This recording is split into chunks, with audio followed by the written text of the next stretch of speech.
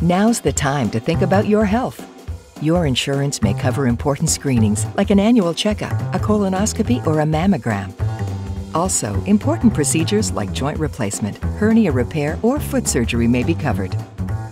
Most insurance plans reset on January 1st. So if you met your deductible, your out of pocket expenses could be minimal or even zero. Make an appointment.